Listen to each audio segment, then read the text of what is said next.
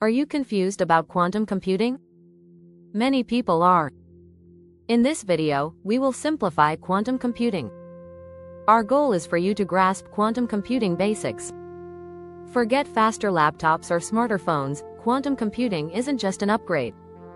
It's a radical reimagining of what computers can do. By tapping into the weirdness of quantum physics, quantum computers promise to tackle problems that would take classical supercomputers longer than the age of the universe to solve. First, let's define quantum computing. It's a new computation model using quantum bits or qubits. The quantum version of a traditional bit. Unlike bits, qubits can exist in multiple states at once. While a classical bit can be either 0 or 1, a qubit can be both at once, thanks to a phenomenon called superposition. Imagine a vast maze. A classical computer checks one path at a time.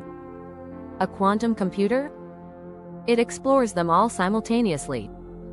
Why it matters, quantum's game-changing potential. 1. Drug discovery. Simulating molecular structures at quantum levels to find new cures faster. 2. Materials science.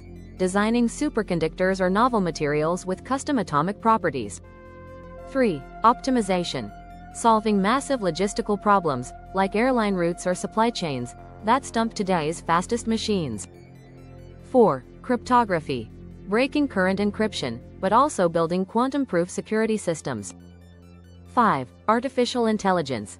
Speeding up machine learning models through quantum-enhanced algorithms. But there's a catch despite its mind-bending promise, quantum computing is still in its infancy. Today's machines, called NISQ devices, noisy intermediate-scale quantum, are powerful but limited. Qubits are fragile, requiring near absolute zero temperatures and advanced shielding from environmental, noise, and quantum errors. They're constant, demanding sophisticated error correction systems that we're still developing. The road ahead researchers are racing to build fault-tolerant quantum computers, stable, scalable systems that could eventually outperform all classical machines.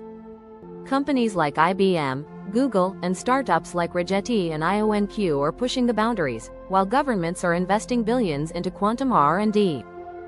Quantum computing isn't just about faster calculations.